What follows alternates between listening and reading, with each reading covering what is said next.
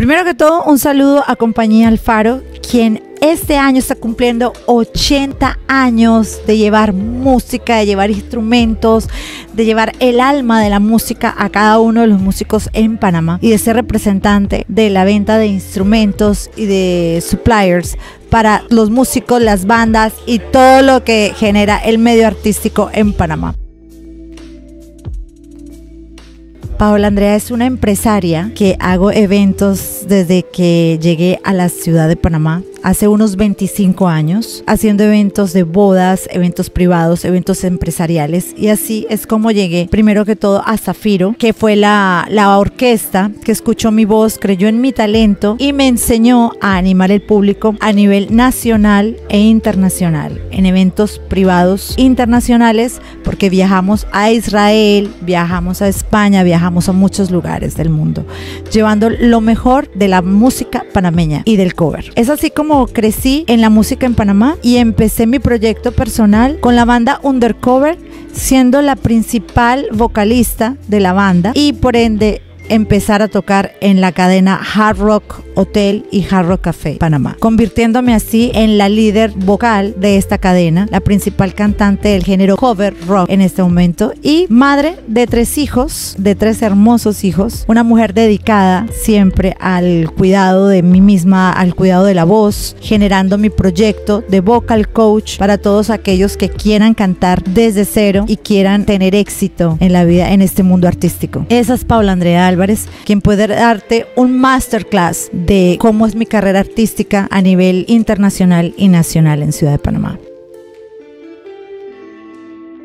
Ok, mi trayectoria más musical en Colombia data desde hace unos 35 años. Empecé en la escuela cantando en la tuna, en el coro del colegio, en festivales intercolegiados e internacionales a nivel de todo el país. Concursando en El Bolero Le Canta Colombia y Antioquia Le Canta Colombia también, ganando los primeros puestos. Y a nivel del bolero también participé en muchos concursos. Es ahí que el señor Darío Gómez, que ahora es figura pública en, y es el rey del despecho en Colombia, me contrató para hacer una producción musical con él en vías para México, pero en este tiempo regresé a Ciudad de Panamá y es ahí donde me encuentro con Zafiro. Empiezo a trabajar, empezamos a trabajar duro, a aprender en esa gran escuela y por eso no regresé a Colombia a terminar ese proyecto musical tan ambicioso. Y ahorita estoy, estoy aquí en Panamá e hice esa escuela, me hice profesionalmente, llegué a ser una gran empresaria, soy una gran empresaria y actualmente mi proyecto es, este año, es sacar mi propio disco inédito inédito, versión rock y versión balada, para que todos ustedes escuchen y tengan mi íntimo con Paola Andrea. Eh, también le he abierto conciertos a Franco de Vita en Ciudad de Medellín hace unos 20 años. Eh, le abrimos concierto al señor Gilberto Santa Rosa y en fin a cantidad de innumerables artistas aquí en Ciudad de Panamá. También tuve el honor de abrir el desfile de Oscar de la Renta en el Figali Convention Center y he cantado eh, para la comunidad judía en Israel, en bodas y, eventos particulares y privados.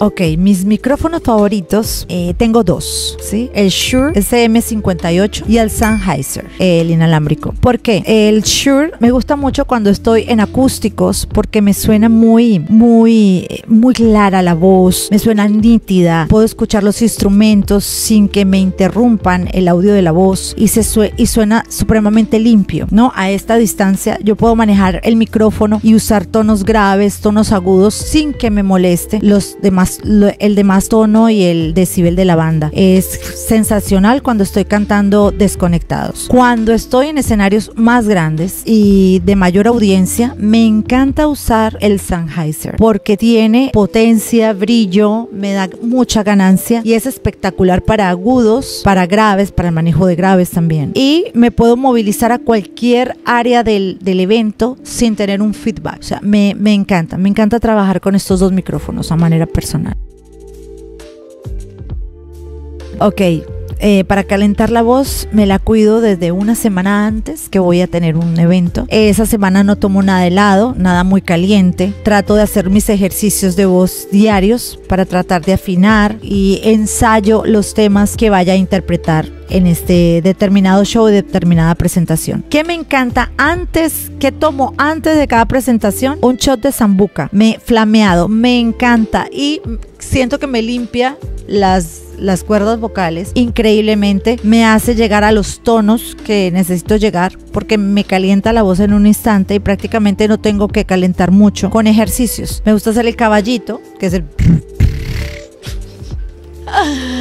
Ahorita no me sale.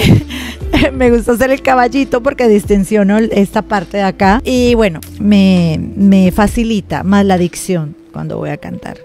Eh, me fascina hacer ejercicio mental, yoga. Mejor dicho, la preparación es como muy completa muy amplia, ¿no? Cuando voy al salón y esto, me gusta escuchar las canciones, me gusta escuchar los tonos, mientras que me arreglan, voy preparando mi, mi show. Eso es prácticamente lo que hago. Ok, tengo dos posturas. La primera, que no te dé miedo, que no exista el miedo, que te alimente la pasión por el arte y la sigas, que busques unos, eh, un buen eh, vocal coach como yo. que te asesores bien en imagen porque tienes que vender imagen y tienes que vender talento. Entonces, estas dos cosas son importantísimas que las tengas en cuenta. Mi otra posición es que ser artista en los, en los días de hoy, cuando la tecnología nos ofrece todo, las facilidades de aprendizaje, cuando tenemos todas estas herramientas que tal vez nosotros, los modelos 80 eh, para atrás, no tuvimos esta oportunidad y tuvimos que eh, eh, estudiar, pegarnos al libro libros, comer libros prácticamente de estudio, eh, estudiar mucha teoría. En cambio ustedes lo tienen ahora todo fácil, que aprovechen la tecnología, aprovechen lo que el mundo en este momento, en esta temporada nos está dando, nos está ofreciendo las herramientas fáciles de, de, acceso fácil para estudiar y para ser un gran artista. Pero sí les tengo que decir, la parte eh, delicada del asunto es una profesión muy costosa.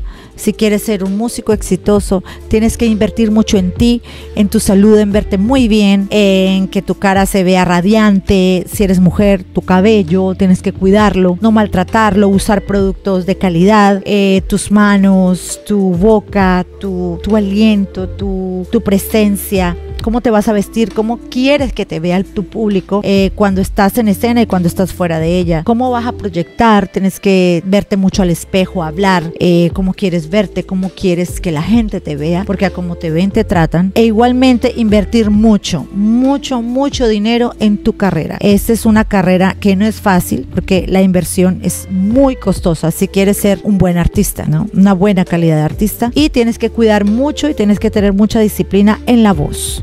Tienes que cuidarte demasiado. No trasnocharte, no ir de rumba en rumba, no, no mucho desorden porque afecta lógicamente lo que son tus cuerdas vocales. Yo creo que estos son mis consejos y para las mujeres que súper, se súper cuiden, súper, tienen que estar súper recontraquete bellas y hermosas y espectaculares para que puedan impactar en el público y puedan vender un talento excepcional e intachable. Esos son mis consejos y este es mi masterclass.